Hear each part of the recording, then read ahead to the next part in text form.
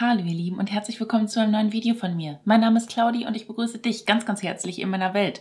Und solltest du hier neu sein, hi, mein Name ist Claudi, ich mache hier super gerne Schminkvideos und auch Hauls, Unboxings, Reviews ja, ab Sommer ungefähr Adventskalender-Unboxings. Und solltest du hier neu sein, zöger nicht und abonniere super gerne meinen Kanal. Ich würde mich mega freuen, wenn wir hier wachsen dürfen und ähm, ja, vielleicht dieses Jahr gemeinsam zu den 40.000 laufen würden. Das ist ein großes Ziel, aber ich würde mich hart freuen. Heute möchte ich gerne mit euch im Rahmen des Hashtag ungeschön Formats, was die liebe Sarah Isabelle und ich natürlich auch in 2024 fortführen. Ähm, einmal ein Blick auf die ganzen Limited Editions, die äh, 2023 rausgekommen sind, werfen. Mm, ich habe mal meine Sammlung durchforstet und geschaut, ob ich äh, da ein Fullface zusammenbekomme. Fast. Bei dem einen oder anderen Produkt muss ich ein bisschen tricksen. Und ja, ich freue mich sehr drauf, dann auch das Video bei der lieben Sarah Isabel heute um 19.30 Uhr zu sehen. Ähm, genau, die ist die Queen of Limited Editions. Die stellt die vor, bevor es überhaupt irgendwo in den Läden erscheint, gefühlt. Und heute starte ich einfach mal mit dem Primer aus der Winnie Pooh Limited Edition von Catrice. Und ich finde es immer so schade, wenn man halt die Produkte also wenn man sie kauft, wenn man sie ähm, dann halt hat, wenn man sie gerne mag, und dann irgendwann so gerne mag, dass man sie am liebsten nachkaufen würde, was bei den meisten dieser Produkte leider nicht so einfach ist. Also manches kriegst du vielleicht noch irgendwie auf Kleinanzeigen oder so, aber das meiste, was ich dir hier vorstelle, gibt es so leider nicht mehr. Sollte ich es dennoch irgendwie finden, dann ist dazu ein Link in der Infobox drin. Ähm, genau, ansonsten muss man halt einfach Glück haben und auf diversen Portalen ähm, die Produkte finden. Oder wie bei manch anderem Produkt, was ich euch hier zeige, ist es entweder ein Produkt, was ähm, quasi aus dem Standardsortiment ist, nur halt mit einer anderen Verpackung, oder wie jetzt zum Beispiel bei manchen Catrice-Produkten, die haben jetzt ja gerade auch die Sortimentsumstellung, ne? Ähm, ich glaube, dass so manche Limited Edition so eine Art Testlauf ist und dann wird es ins Standardsortiment gepackt. Also das würde ich mir bei manchen Produkten hier wirklich total wünschen, weil die echt gut sind. Ansonsten wären die nämlich gar nicht mehr in meiner Sammlung. Der Primer schenkt übrigens einen zarten Glow, also ne, der gibt ein feuchtigkeitsgespendetes Gefühl. Das ist auch ein bisschen bappig dann. Also die Foundation wird darauf wahrscheinlich sehr gut halten, hoffe ich. Denn ähm, ja, hier ist natürlich auch gleich eine äh, Fancy Foundation am Start, die sehr wahrscheinlich auch von Sarah Isabel verwendet wird. Ähm, erstmal verwende ich aber aus der Chili Vanilli Collection. Die ist jetzt recht frisch gewesen. Ich glaube im Dezember. Aua, war das dann der Fall? habe ich hier den, ja eigentlich Under-Eye Brightener, ne? Brightening Under-Eye Cream. So ein bisschen wie der Under-Eye Brightening Corrector von Catrice, nur halt in flüssig. Und das ist heute dann auch quasi mein Concealer. Und die Pinsel, die ich verwende, kommen übrigens alle von Spectrum. Hoffentlich wird die Foundation Into the Jungle von Rival de Loop jetzt so richtig was Schönes auf meinem Gesicht machen. Im Sommer war die super. Mal gucken, wie sie jetzt im Winter ist. Wahrscheinlich ein bisschen dunkel. Erinnert mich auch von der Farbe her ein wenig an das Magic Finish von ähm, M. Asam. Ist meiner Meinung nach von der Konsistenz her aber ein kleines bisschen, ich würde mal sagen, öliger ja, will nicht so gerne mit dem Primer funktionieren. Also eine leichte, leicht vor allem, ne? eine, eine Würstchenbildung habe ich hier. Das ist halt manchmal der Fall, wenn man halt, ähm, ja, ich sag mal, was Wässriges verwendet und was Öliges. Das will manchmal nicht so ganz miteinander funktionieren. Ich finde es auch ziemlich mutig, so eine ja, Foundation ne, in eine Limited Edition zu packen, weil es da auch wirklich nur die eine Farbe von gab. Ähm, aber ich glaube, wir haben relativ Glück. Also es sieht nicht ganz so furchtbar aus, wie ich das befürchtet hatte, was ich sehr gut finde. Trotzdem muss ich das auch ein bisschen an den Hals geben, weil das alles gerade gerne in einer Farbe sein möchte, auch wenn ich das nur leicht auf dem Hals verteile. Die Würstchenparty wird dann einfach so nach unten wegge fusselt. Oh Gott, ja. Es ist halt einfach so, ne? Also theoretisch ist das auch eine Foundation ähm, oder ein, ein Make-up, ein, doch, das ist ja eine Foundation, was ich halt selber sette. Theoretisch brauchst du da eigentlich auch gar keinen Primer drunter, sodass man auch gar nicht diese Probleme hätte. Ich finde es jetzt in diesem Moment nicht ganz so optimal, eben wegen der Reaktion mit dem Primer. Finde dieses Make-up aber eigentlich total schön. Leicht perfektioniert setze ich mir schon mal den Lidschattenprimer drauf. Auch das von Essence, der Eyeshadow Primer aus der ähm, König der Löwen Limited Edition. Das war ja auch eine Sister Love Collection, glaube ich, oder? Ähm, das war doch die Kollektion. Da kommen wir nämlich auch noch gleich zu, wo auch Sachen aus dem Dschungelbuch äh, bei Catrice am Start waren. Auch hier wieder eine sehr silikonige Kiste. Und ich finde es ziemlich witzig, dass ich hier vor allem Limited Editions aus der Drogerie habe. Denn ich habe eigentlich auch immer wieder so ähm, High-End Limited Editions, aber dieses Jahr bzw. letztes Jahr war ich da gar nicht so aktiv. Keine Ahnung warum. Ja, der äh, ist eher durchsichtig, also da siehst du jetzt keine wirkliche Tönung auf dem Auge. Ähm, als nächstes verwende ich eine LE von Eveline Cosmetics aus dieser Schoko LE. Die Nummer 02 habe ich hier als Cream Bronzer.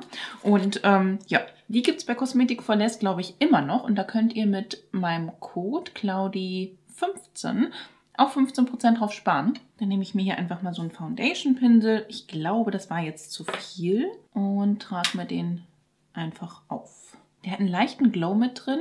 Sieht jetzt ein bisschen verrückt aus. Ich schau mal. Ja, äh, mit der Foundation arbeitet der jetzt gerade nicht ganz so Hand in Hand. Aber naja, wir verteilen den jetzt erstmal ganz entspannt. Und wenn du mehr Bock auf Reime von mir hast, schau im Pelletier Verlag vorbei. Da habe ich vergangene Verse. Das ist ein Buch von mir rausgebracht. Das ist jetzt mein drittes Buch welches ich im Pelletier Verlag veröffentlicht habe. Auch das 2023 rausgekommen und auch das eigentlich eine Limited Edition, weil was weg ist, ist weg, ne?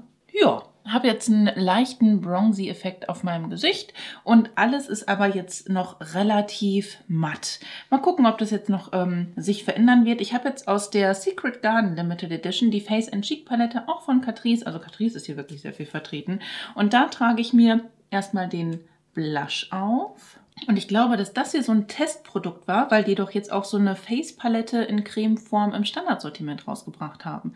Also, ne? Haben wir jetzt hier auch im Gesicht. Oh, mir fällt was ein, Leute. Jetzt, wo wir beim Blush sind. War das hier nicht auch eine LE, die dieses Jahr rausgekommen ist? Die ähm, Revolution findet Nemo LE habe ich hier in der Farbe Dory. Und den trage ich mir auf der anderen Seite auf. Ja, das machen wir so. Okay, ich habe mir die sehr, sehr, sehr krass korallige Farbe scheinbar ausgesucht. Ich habe auch noch andere Farben aus der LE, aber den möchte ich jetzt mal auf dieser Seite auftragen. Da habe ich einfach mal ein bisschen Bock drauf. Und auch das ist, glaube ich, ein Produkt, was dann später im Standardsortiment war oder was vorher schon im Standardsortiment war. Diese Dewy Blushes von Revolution. Ne? Da haben wir auch den ein oder anderen von in Adventskalendern gesehen. Zum Beispiel im Purish Adventskalender. Und ihr findet auch noch viele Limited Editions bei Purish und könnt damit, ich glaube aktuell Claudis Welt 15 wieder 15% sparen. Mm, das ist immer je nach Aktion. Ich glaube, dass die letzte, ja, jetzt äh, am 19. gestartet ist und das Video kommt ja Ende des Monats raus. Also müsstet ihr jetzt mit Claudis Welt 15 15% bei Purish sparen können auf ausgewählte Marken. Genau, der Blush ist halt auch wirklich wie diese Dewy Blushes, ne? Eher zurückhaltend, wobei man ihn trotzdem halt sieht. Und ähm, hier habe ich jetzt aber irgendwie nicht wirklich Blush drauf. Also das hätte ich jetzt gedacht, dass da wohl mehr drauf kommt. Ah, okay. Es ist hier oben drauf ein bisschen getrocknet, weil das natürlich Cremeprodukte sind. Und wenn die vielleicht eine Weile nicht verwendet werden, mh, dann trocknen die ein bisschen. Aber ja, jetzt kommt er. Huh, und wie? Und jetzt kann ich damit im Dunkeln leuchten. Wow. Der kommt jetzt auch mit auf die andere Seite. Den muss ich verteilen. Das ist ja uiuiui. Das, also verrückt. Vielleicht ein bisschen hier mit dem Chili-Vanilli-Schwämmchen verblenden. Das, also, kratzt an der Oberfläche und du kriegst einfach die volle Ladung, ne? Mhm. Ja, hier habe ich ein bisschen jetzt gepatzt, ne? Das sieht blöd aus. Ach Mensch, Claudi, was soll das denn hier? Nun ja, was soll ich sagen? Wir brauchen dann auf jeden Fall nachher einen knalligen Augenlook. Ansonsten, äh, ja, sieht das, glaube ich, sehr verrückt aus. Aber ich habe ja gleich auch noch ein paar andere Produkte, die vielleicht auch noch bei der Rettung helfen könnten, weil das sieht jetzt ja sehr verrückt aus. Nun, ähm, ich verwende jetzt erstmal eine Lippenpflege. Da habe ich von ähm, Alverde aus dieser Blossom Limited Edition das Lippenöl. Das ist hier. Und ich mag Lippenöle ja total, ne? Also das ist so richtig schön pflegend und äh, eine Kombination aus Lipgloss und Lippenpflege halt. Das riecht auch nach irgendwelchen so sauren Süßigkeiten, nach Apfelringen. Cool. Nun ja, äh, ich weiß jetzt nicht, ist das aus... Nee, ich wollte noch einen äh, Highlighter verwenden, ne? Dann nehme ich auch mutig, wie ich bin, den hier. Trage mir den erstmal hier ein bisschen auf und hier und arbeite mir den dann auch mit dem Pinsel ein, den ich aber vorher erst ein bisschen sauber machen muss. Und genau, der war nämlich auch recht intens. Geht wirklich am besten mit dem Finger, mit der Körperwärme. Mal gucken, wie die das mit den Standardsortimentprodukten gelöst haben. Also das äh, Standardsortiment, das neue Sortimentsupdate, ne, ist nämlich äh, gestern gelauncht worden. Also ich drehe das Video am 4. Januar und am 3. Januar ist das äh, Sortiment veröffentlicht worden. Da habe ich natürlich auch schon mal eine Bestellung zu abgegeben, aber da werde ich natürlich die Palette gegen diese hier mal antreten lassen, um zu gucken, wie da so die Unterschiede sind und inwiefern sich ähm, Catrice an der LE orientiert hat. So, jetzt versuchen wir mal, ich müsste eigentlich nicht unbedingt Puder verwenden, aber ich mache es jetzt einfach mal. Ja, aber ich nehme nur ein leichtes. Ich hätte noch zwei andere, die lasse ich jetzt aber einfach mal außen vor, oder? Nee, lasse ich nicht. Ähm, ich glaube aber, die Brilliant Crush Brightening Under Eye Setting Powder Geschichte, ist die von Dezember 2022 oder von Januar 2023? Das weiß ich gerade nicht. Ach, ich verwende das jetzt einfach mal trotzdem. Weil ich meine, dass ich da auch das ein oder andere Video von gesehen, oh, da kommt viel raus, äh, von gesehen habe, als ich eben nämlich auch recherchiert hatte aus ähm, Dezember. Aber da weiß ich jetzt nicht mehr, ob das Ende Dezember war oder so. Also keine Ahnung, ob das dann während äh, Januar auch und während 23 auch in den Theken stand. Ich gebe mir das auf den Mini Jacomob. Das ist auch eine Limited Edition, denn den hat Maxim jetzt überarbeitet und in etwas größer rausgebracht. Und dementsprechend gibt es diese kleinen Puffeldinger nicht mehr. Und ja, deswegen ist das natürlich auch Part dieses Videos. Das im Asa Magic Finish Satin Compact Powder in Ivory habe ich in einer anderen Verpackung mir letztes Jahr gekauft als in der Standardverpackung. Das habt ihr auch schon ein paar Mal im Video gesehen. Da ist irgendwie die Oberfläche angerissen, es hat gebröckelt und äh, eben als ich das aus dem Schrank genommen habe, ist da auch noch ein Teil von abgebrochen. Also ganz blöd.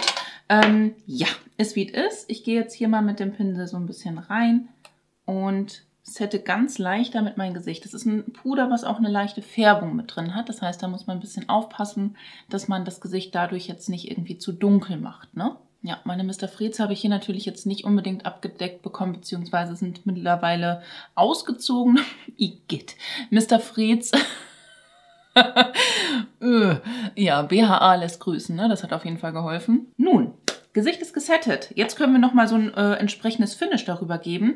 Da habe ich aus der Beauty Essentials Reihe diesen, ähm, ja, total fan, dieses fancy Produkt von Kiko. Eigentlich ist das sowohl Primer als auch Puder in einem. Ganz verrückt. Also Blurring Primer and Perfecting Powder. Ich würde es jetzt einfach mal als äh, Finishing Powder verwenden. Das ist so ähnlich wie das von äh, Chantecaille. Das hat man ja auch äh, dieses Jahr immer mal wieder auf Social Media gesehen. Und äh, was gibt's denn noch? NARS hat auch so ein ähnliches Puder. Das ist halt super fest von der Oberfläche her. Also wenn du so drüber reibst, ihr seht's ja, ne? Musst du schon ordentlich reiben und hast dann so was am Finger.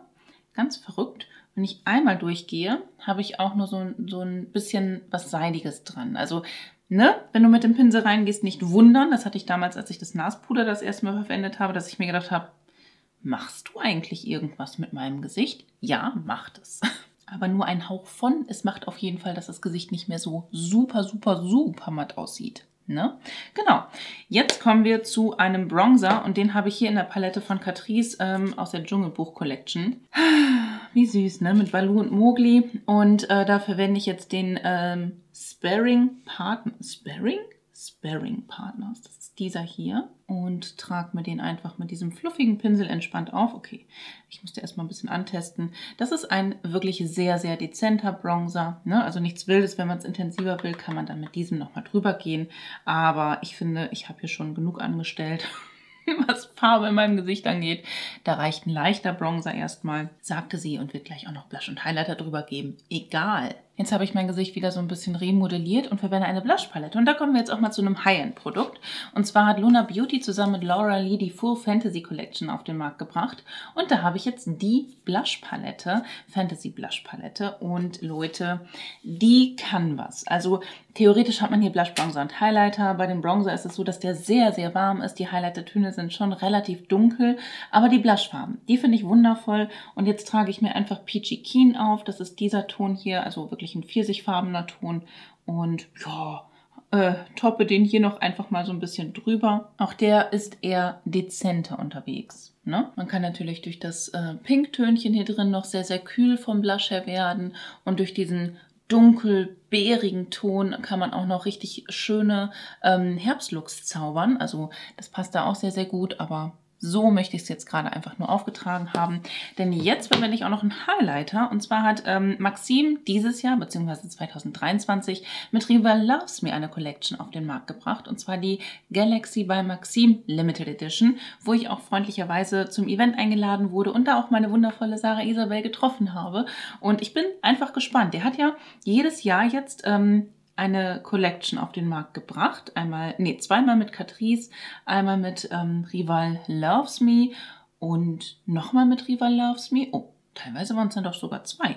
Und äh, ja, mit Lovia hat er ja ganz am Anfang auch schon was rausgebracht. Ich bin super gespannt, was er 2024 für uns bereithält und auch mit welcher Marke. Also da, äh, ja, bin ich gespannt. Wie ein Flitzebogen, kann man nicht anders sagen. Und der Mann kann wirklich alles rausbringen. Ich würde es wahrscheinlich hart feiern, weil ich äh, einfach weiß, dass er damit Sinn und Verstand bei äh, ist und ähm, Herzblut reinstecken wird. Also von daher ich warte gespannt und äh, ja, lass mich dann einfach mal überraschen. Als Augenbrauenprodukt ähm, habe ich jetzt kein Limited Edition Produkt als Farbprodukt, Produkt, Produkt. Ähm, aber ich finde, dass Florasis Produkte herausbringt, die jedes für sich aussehen wie eine LE, oder? Und hier habe ich einmal den Augenbrauenstift und ja, aufregend, ich habe meine Fingernägel gar nicht gemacht. Sie sehen auch sehr schlimm aus. Ich bin hier nämlich aktuell ziemlich viel am Rödeln, aufräumen, Pakete packen und so weiter. Da lohnt sich das nicht unbedingt, sich die Nägel zu machen, aber vielleicht äh, bin ich einfach mal so fancy und mache die heute Abend dann doch mal. und hier habe ich als Farbe äh, die 05. Da hatte ich, glaube ich, Anfang des Jahres oder im Frühjahr die Kooperation mit Florasis und oh, ich war echt hin und weg. Es war ungefähr zum gleichen Zeitpunkt, als auch die erste Denissa oder die Denissa Myrix Lightwork 4 Palette rausgekommen ist. Und da war ich also wirklich hin und weg, was Make-up alles so drauf hat. Auch so von den, ähm, ja, von den Packagings her, ne? Wahnsinn. Und ja, ich erinnere mich, es war doch etwas dunkel, ne? Ups. Dennoch möchte ich das Ganze gerne fixieren. Und ich meine, dass ich dieses Produkt auch verwendet habe, als Sarah Isabel und ich im Sommer so ein Fullface LEs auch geschminkt haben. Aber da war es ein generelles äh, Fullface LEs. Ähm, ja, Essence hat mit Katjes zusammen diese Grünohrhasen-Kollektion gemacht. Und das ist eigentlich ein Standardsortimentprodukt. Also das ist ähm, eigentlich ja in dieser blauen Verpackung und äh, in dieser LE haben wir es dann nochmal in der grünen gefunden, ist aber eigentlich gleiche Verpackung und auch ähm, das gleiche Inhaltsprodukt, wie auch immer, ne? also nichts total Verrücktes und ähm, ja, verwende ich für meine Augenbrauen, ist solide als Augenbrauengel, ist jetzt aber nicht so ein Festacker Augenbrauenprodukt, wie das ähm, bei denen der Fall ist, die ich normalerweise verwende. Lidschatten, Leute. Odin's Eye hat ja nochmal zum Ende des Jahres diese Christmas Collection rausgebracht und die Hey Reindeer Palette wollte ich unbedingt nochmal mit euch zusammen testen, jeweils vor der Kamera. Ich habe sie auch noch gar nicht verwendet. Ich war da bislang nur mit meinen Fingerchen drin. Ich habe sie aber noch nicht auf dem Auge getragen. Und ich freue mich da jetzt so drauf, das endlich zu machen. Und äh, ja, genau. Also, ähm, die Folie ist nämlich noch drauf. Die nehme ich jetzt mal runter. Das ist einfach bunt, ne? Und sehr hübsch. Also, ah, die haben ja auch die Snowman-Palette rausgebracht gehabt, die ich auch sehr, sehr hübsch finde. Und äh, ja, das hier ist dann eher so die bläuliche Variante davon. Wir starten, wir machen einen blauen Look, ne? Ja, es passt zu meinem Oberteil, es passt irgendwie. Ähm, wir, wir starten mit Cider, das ist dieses wunderschöne hellblaue Tönchen. Und da gehe ich ganz entspannt mit einem Blendepinsel rein und trage mir den ja auf meinem beweglichen Lid auf und auch in meiner Lidfalte. Und ich muss gerade daran denken, wenn ihr das Video seht, habe ich glaube ich aktuell einen Dalton-Code. Da könnt ihr äh, mit meinem Code, den ich euch mal einblende, den kenne ich noch gar nicht, ähm, ganz schön viel sparen. Und äh, schaut da gerne mal vorbei. Also es müssten mindestens 20% sein, wenn nicht sogar 25% gucken, weil äh, dann war ich ja quasi, wenn ihr das Video seht, am Wochenende vorher auf dem Event und habe dann auch die wundervolle ähm, Nicole von Chiquitas Place dort vor Ort getroffen. Oh, wie aufregend. Was eine wunderschöne Farbe. Wirklich. Also das gefällt mir richtig gut wie leuchtend das aufs Auge kommt. Ne? Das ist auch nicht selbstverständlich, weil das ja eher so ein Pastelltönchen ist. Dann nehme ich den Ton Ivy, das ist dieser ähm, leicht petrolfarbene Blauton. Nee, das ist ein Petrol. Ein helles Petrol, aber ein Petrol. Und den setze ich mir hier außen hin und blende ihn auch leicht in meine Lidfalte. Ich kann es noch einen Tick abdunkeln, auch wenn es jetzt so schon richtig schön aussieht. Dann einen, so einen hellen Schimmerton drauf. Eigentlich hast du dann schon so einen richtig schönen winterlichen Look, ne? Aber ich nehme jetzt mal den Ton Holly, das ist dieser hier. Und den, der ist so ein bisschen Jeansblau bisschen aschiger. Den setze ich mir nur hier außen in so tupfende Bewegung hin und damit mache ich da noch so eine kleine ja, äh, Schattengeschichte, damit mein Auge etwas größer wirkt und das Schlupflid nicht ganz so schlupfig. Ich setze mir auch so eine Mischung aus Ivy und Holly, also Ivy nach innen und Holly nach außen, an meinen unteren Wimpernkranz. So schaut das dann aus. Sehr, sehr, sehr, sehr schön für so helle Blautöne. Ne? Und jetzt mache ich mir, einfach damit die Schimmertöne gleich besser halten, noch ein bisschen was von meiner Lidschattenbase auf mein bewegliches Lid. Ich bin fancy, Leute. Ich gebe mir jetzt den Ton Slay. Das ist so ein richtiges Gold. Gold, Gold, Gold, Gold. Ne? Das setze ich mir hier auf mein bewegliches Lied. Oh mein Gott, es ist wunderschön. Und dann nehme ich mir den Ton Christmas Ham. Das ist so ein, ja, sehr, sehr flockiger Ton, der sich auch leicht cremig und nass anfühlt. Da muss man ein bisschen aufpassen. Und äh, den setze ich mir in mein inneres Drittel rein und auch in meinen Innenwinkel. Der hat so ein rosa Shift. Oh. Ist schon gewagt, aber ich mag es gerne leiden. Ähm, passt, passt, passt definitiv. Ihr bekommt Odin's Eye übrigens ganz normal online und das ist eine Marke, die sitzt in Schweden müsste das sein. Das heißt, es ist in der EU, ihr müsst euch keine Sorgen um Zoll machen. Und ja, die Produkte, weiß ich nicht, ist die LE noch verfügbar? Dann ist natürlich ein Link dazu in der Infobox. Ansonsten sind die Anneliechan-Paletten natürlich auch der Hammer, die es dort gibt. Ne? Also gar keine Frage, schaut einfach gerne mal vorbei, wenn ihr möchtet. Äh, ich kann es voll empfehlen. Das ist so eine richtig tolle Indie-Brand. Kommen wir zu einem Eyeliner. Und da habe ich hier aus der äh, Emily in Paris Limited Edition von Essence den Creamy Eyeliner. Der schaut einmal so aus. Und da nehme ich mir dann natürlich auch nochmal den Wing mit. Und ich nehme den Wing mit, genau. Ich äh, gönne mir diesen Eyeliner. Das ist so ein Pöttchen, also wirklich ein Creamy Eyeliner, halt mit einem Pinsel. Ne? Da geht man dann in den Deckel rein gibt sich den dann auf den Pinsel und kann sich damit einen Eyeliner ziehen. Super präzise wird man damit hinten nicht werden bei dem Wing, aber ich finde, dass es recht sauber aussieht ne? und sich auch relativ leicht verarbeiten lässt. Also du hast hier halt nicht das Problem, dass es dir zerfließt oder sowas. Das hat man ja auch sonst bei flüssigen Eyeliner mal ganz gerne. Das ist halt bei so einer Art von Eyeliner nicht der Fall und deswegen fand ich es irgendwie fancy, dass sie den hier mitten in die LE reingebracht haben. Ich habe damit jetzt auch nicht also so ein Mega-Wing gezogen, weil das äh, würde ich hiermit nicht hinkriegen. Als nächstes Produkt verwende ich aus der Disney Mickey and Friends Collection äh, mit Essence dieses Relaxing Fixing Spray und ja, das mag ich ehrlich gesagt auch relativ gerne. Das ist ganz schön. Spuckt nur ein bisschen. Und es soll halt, glaube ich, das Relaxing geben, eben weil das äh, ein bisschen nach Lavendel riecht oder so. Meine Wimpern werden natürlich, bevor ich die Mascara auftrage, gebogen. Da habe ich ja auch meine äh, Catrice Wimpernzange. Ich liebe sie. Das ist aber keine Limited Edition, die kann man so ganz normal zum Beispiel bei Cosmetic for Less oder so kaufen. Ne? Ich habe zwei Mascaras hier. Ich glaube, ich verwende sie beide.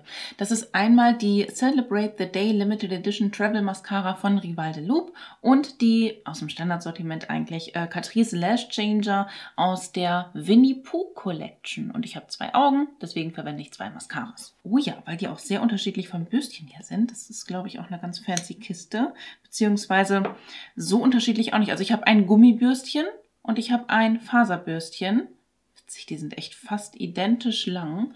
Ähm, äh, genau, also ein Gummibürstchen, ein Faserbürstchen und beide sind Tannenbaumförmig. Und dann gucken wir mal, was das jetzt mit meinen Wimpern als Unterschied machen wird. Ohne Mascara. Erste Schicht. Zweite Schicht. Dritte Schicht. Beide Mascaras haben ihre Vorzüge. Also wir haben bei der Rival de Loop Mascara auf jeden Fall ein deutlich, ja, wie soll ich das sagen, ordentlicheres Ergebnis, also auf der Seite. Und hier ist das Ganze einfach ein bisschen wilder, ein bisschen intensiver.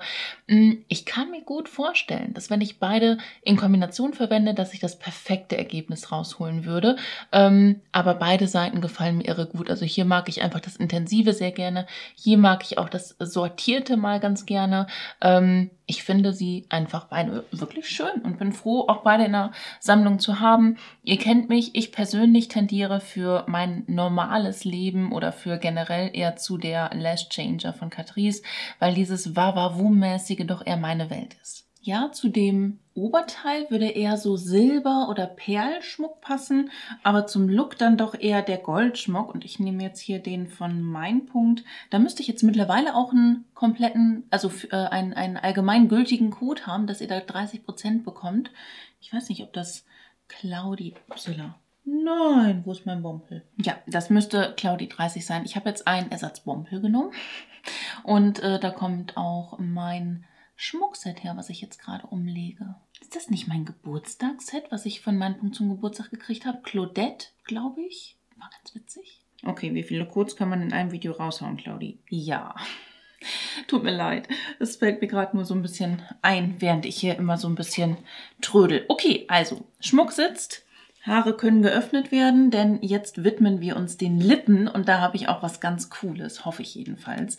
Also, ich habe hier aus dieser mega coolen Catrice Nussknacker Limited Edition den Pas de Deux C02 Lippenstift. Den habe ich auch noch gar nicht verwendet. Der wartet nur darauf, endlich verwendet zu werden. Dieser Bullet ist einfach ein eine absolute Schönheit. Also das ist so, so, so hübsch und so gelungen. Also wahnsinnig cool. Hm, gar nicht so leicht, den äh, symmetrisch aufzutragen, weil der doch sehr cremig ist, also sehr, sehr cremig und äh, sehr intensiv. Wow, wow, wow, wow. Was ein Look. Also ich hätte hier noch andere Sachen, um das zu toppen, aber ich, also um die Lippen noch zu toppen, aber ich äh, glaube, dass das genau so sein sollte und nicht noch intensiver gemacht werden müsste. Ne? Ihr Lieben, das ist jetzt mein Full Face mit den Limited Editions, die 2023 bei mir eingezogen sind. Es ist richtig geil. Also ich äh, finde den Look wundervoll. Wirklich das Einzige, was mir noch fehlen würde, wäre halt ein Concealer, der ein bisschen mehr Deckkraft geben würde, dass ich hier so ein paar Geschichten abdecken könnte aber ansonsten ist es so ein guter Look geworden. Auch diese Eskalationsgeschichte konnte ich jetzt noch ein bisschen retten. Und ähm, ich finde, dass dieses Jahr einfach die Limited Editions, also letztes Jahr 2023, wieder richtig krass unterwegs waren. Und ich bin so gespannt, was die Make-up-Industrie sich für dieses Jahr überlegt hat. Also, ne? Und ich bin auch wirklich gespannt, was Sarah Isabel mit den Produkten angestellt hat, die sie bei sich zu Hause hat einziehen lassen.